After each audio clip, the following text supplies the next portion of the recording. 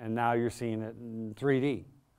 Uh, in terms of that trend changing, now DreamWorks, for example, they don't make a film that can't that they're not also shooting in 3D. So that gives you an example of where that's going. Um, I do think some films are more suited toward it. I don't think it's a one size fits all, like everything's 3D now. I pers- is a personal opinion, and everyone has their own. I I rather would see Lord of the Rings. Um, and me and the special effects professor were just having this conversation. I haven't even seen The Hobbit yet, but I already know aesthetically, for my own reasons, and I don't think they should be imposed on anyone else.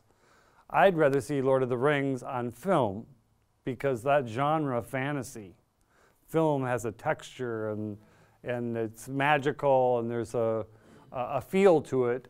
And that hyper realism isn't something I want to see the world of Lord of the Rings in or an old uh, school fairy tale in. But I do want to see 3D in when I go to see Avatar because that's science fiction, futuristic, and I think uh, uh, 3D lends itself to that feeling, you know?